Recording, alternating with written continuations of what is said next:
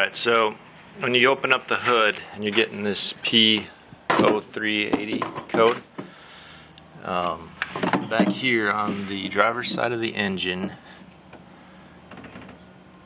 behind the uh, turbo cooler line, you'll see that black box right there. Uh, that is the box that houses the relay, the relay for the, uh, oh, what the hell is it? The um, glow plug and also the air intake heater. Um, we're going to be working just with the glow plug, but we do have to work on both of them because both relays are in there.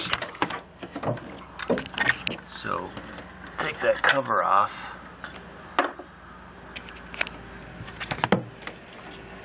And then the relays are in there. There's two bolts holding that whole thing on and then the wiring harness.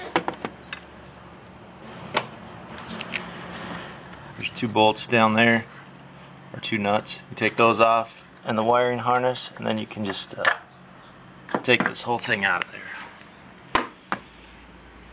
So, once that's out, we could start some testing to verify if it's this unit that's bad, if it's the wiring that's bad, or if it's the computer that's bad. So we'll start by testing these wires coming in. Like this little plug, that's the uh, command circuit for the for the relays. There's uh, you got to look at the wires on the back side. You find the yellow wire with the pink wire and the yellow stripe, which are side by side. So it, will be the top two wires in there. So you have to get make some kind of a little um, tester lead that will plug into that thing, and then you can test to see if voltage comes out of that when you turn the key on. Because uh, from what I understand and from what happens on this truck is when you turn the key on you'll get 12 volts coming through that for about 10 seconds and then it'll shut off and what that is is it's turning the glow plugs on for 10 seconds and shutting off if you don't have voltage then you probably have a wiring issue and we'll show you how to test for that alright so the first test I'm going to do is to verify that the ground is good on the signal circuit which is the uh, pink wire with a yellow stripe on it. It's right next to the solid yellow wire, which is the actual signal circuit for the glow plugs. Uh, the pink wire with the yellow stripe. So I just put a little piece of wire in there. Um, clipped it to my test lead, to my meter, and then uh, I just ground this thing out. And there's a uh, it's a good ground. As you can see every time I take it on and off. So that tells me that I've got a good ground on that one. Uh, you can run the same test if you're having issues with your uh, with your intake heater circuit, but uh, that that tells me that the ground on that glow plug circuit is good. So now we test the the, um, the signal circuit, which is a wire that comes directly from the computer and sends out 12 volts to this glow plug relay uh, for 10 seconds. So the signal circuit, I have plugged the uh, test lead into the solid yellow wire. That wire should be putting out 12 volts when I turn the key on. Uh, the other lead I hooked to the ground, which I know the colors don't match up, but for testing purposes, it'll work. Alright, we'll turn the key on. And we get 12 volts coming in that signal circuit. Which means the computer is putting out 12 volt signal, telling the glow plugs to turn on. So that tells me that the wiring coming to the signal circuit in that connector is good for the glow plugs. Uh, the next thing that we test is there's two smaller wires that hook to the uh, terminal screws also. They look the same from the top. They both have, they're both pink and they've got like this blue jacket on them, but the wire that they connect to on the bottom. One of them is blue. The other one is like a tan color. You kind of see that in there. So one's blue, one's tan. The blue one is the one that works the glow plugs. So it's important that this gets put on the glow plug relay. Otherwise, it's going to be receiving, the computer is going to be getting signals from the from the heater circuit for the glow plugs and then everything's all screwed up. So it's important that this wire gets hooked back onto the glow plug relay. Um, so I'll show you how to test that one. So I downloaded this nifty wire schematic off of the old internet and uh, this shows the information for the glow plug relay right there and then it shows the yellow wire as the signal wire going through the relay. Um, the pink yellow as the ground.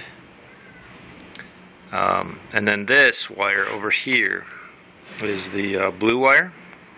It says there's a fusible link on it and that connects to the terminal um, you know on the that comes off the relay uh, that's the wire that we're going to test next but I never did find the fusible link. I did find a link but it doesn't look like it's a fusible link but anyhow this uh, on the schematic that connector right there uh, where it shows 52C1 glow plug signal that is the computer connection and uh, C1 if you see in that little box right there C1 is the blue connector.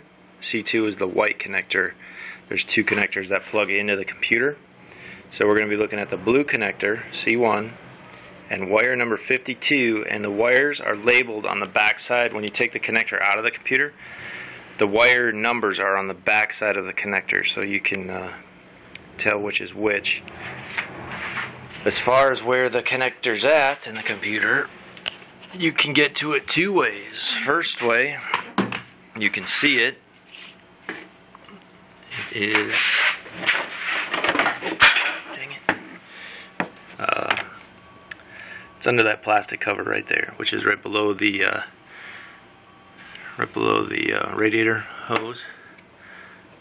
Um, so you take, that cover just pops off uh, then you can take the computer out. There's a little clip on it. If you go through the fender well, I had my fender well out because I was doing some work on the glow plugs too, but um, you'll see the wires going into the computer. There's two sets of wires. You can see the first one, it's like that gray strip that goes vertical, and then right behind it there's another one. Um, so those are the wire, the wire clips that uh, come off the computer once you take those out, you just you know look for the C1 connector, which I think I said was the uh, blue connector, and then you look for wire 52, and you just put your ohm meter on 52 and to that wire up in the engine compartment, which is the blue one right there. And if you get uh, continuity on it, your wire's good. If you get no continuity, it's just open, then you've got uh, then you've got a bigger issue. Probably, you know, if there is a fusible link, it's it's blown, and you just have to either rerun a wire and hook that up, or just uh, figure out what's wrong with it and fix it. But I already checked mine, so I know I've got continuity on there, so I know that my signal circuit, that's the signal circuit that goes back to the computer that says, hey, I'm getting voltage, the relay's working fine.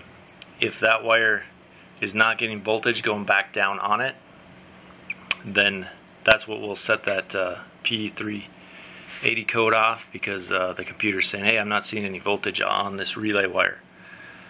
Um, so I do know that the the um, intake heater circuit, which is the other relay in there, that relay does not always kick on because it works off a temperature, so it works off the ambient temperature outside the vehicle. Uh, at least that's what I read. So if it's not cold enough that relay won't even kick over, so you might not get voltage on on the other ones. The the glow plugs seem like they always they always um, have voltage go to them when you turn the key on. So if you're checking the other wiring and you're not getting voltage, you know that would be the other wiring in this connector. If you're connect if you're checking the other wiring in there and you're not getting voltage, then uh, it's not necessarily bad. It's just maybe you're doing it in a warm climate like where I'm at, where I don't think it ever uses the the intake heater circuit. So.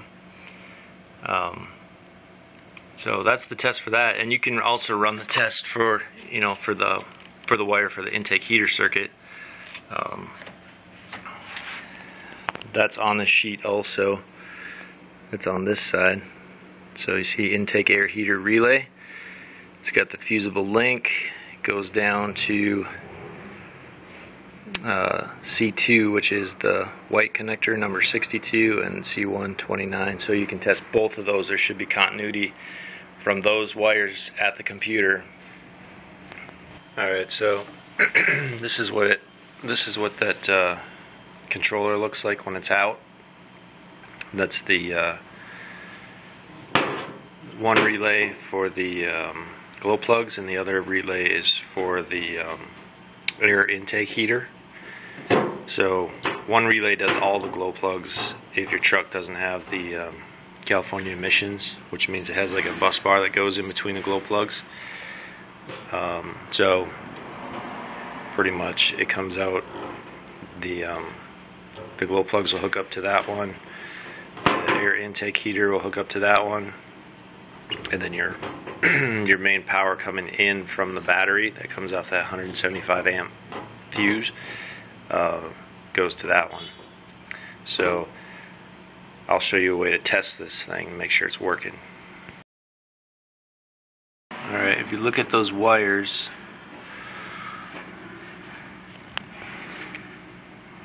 you see the yellow. Let's see if I can focus it there. There's a yellow and then there's a pink wire with a yellow stripe on it. That's the two wires that control the the um, glow plug relay. So you can see them coming in on the top. So they're the two wires right in there, the two ones on the top. So what I do is I put my two little test leads, I clip one onto each wire, and I'll do that right now so that we can do a test on this. Okay, so the yellow wire is the positive wire, and the pink wire with the yellow stripe is the ground wire. So all I did was I hooked up a test lead to the from the positive lead up to a battery to the positive and then uh, from the negative lead I'm going to hook that up to the negative side of this battery and then I also hooked up 12 volts from a battery to the to the input um, of these relays. So right now power is going into the relay and when I ground this I should get 12 volts coming out of the output of the relay. And I've got this cheap little tester I got at Harbor Freight which was the same place. I got all these little test leads and they work pretty good. So if I hear the solenoids click and I'm getting well because I got my test leads backwards I'm getting 12 volts.